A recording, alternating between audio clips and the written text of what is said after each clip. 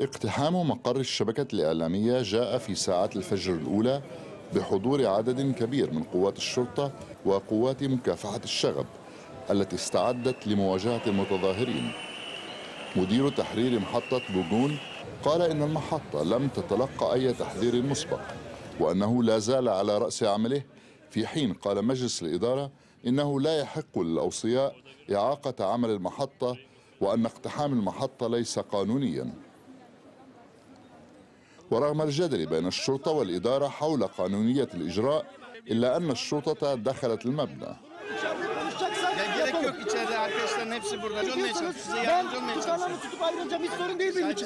المؤيدون الذين حضروا إلى مكاتب الشبكة الإعلامية للإعراب عن تأييدهم حملوا يافطات تتهم الحكومة والرئيس أردوغان بالعمل على تكميم الأفواه والسيطرة على وسائل الإعلام المعارضة.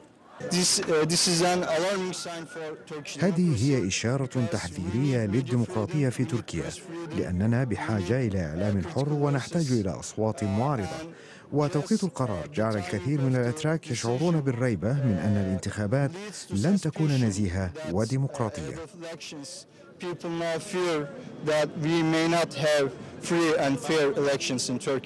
ويقول معارضون للحكومة التركية أنهم يخشون أن تتحول تركيا إلى دولة بوليسية. يضغطون على الإعلام والإعلام لابد أن يكون مستقلا. Weekend.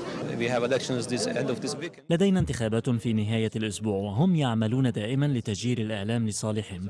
لهذا استهدفوا هذه المجموعة لأنهم لا يسيطرون عليها. To governments. نحن هنا اليوم للدفاع عن حقوقنا الديمقراطية.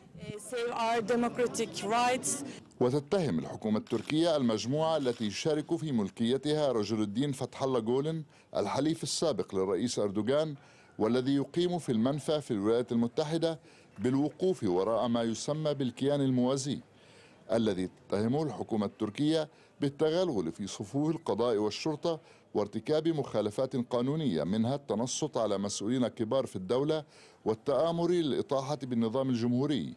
وكشف معلومات سرية تتعلق بأمن الدولة وأصدرت أنقرة مذكرة توقيف غيابية بحق جولن من جهته أشار الرئيس أردوغان إلى أنه سيتم مكافحة المؤسسات التي تدعم المنظمات الإرهابية في إطار القانون. وكانت محكمة في أنقرة قد أصدرت الثلاثاء حكما بتعيين مجلس أوصياء لإدارة الشبكة الإعلامية بناء على طلب المدعي العام بحجة أنها متورطة فيما وصف بالأنشطة الإرهابية لمنظمة فتح الله كما أصدرت المحكمة أيضا لائحة اتهام بحق 122 شخصا آخر. تقف قوات الشرطة أمام المبنى للحيلولة دون دخول أي شخص من المتعاطفين مع محطات التلفزيون إلى داخل المبنى. فيما يعتصم المؤيدون هنا في الشارع. ويلقي الخطباء الكلمات التي تعبر عن تمسكهم بالقيم الديمقراطية كما يقولون. عصام كرماوي بي بي سي إسطنبول.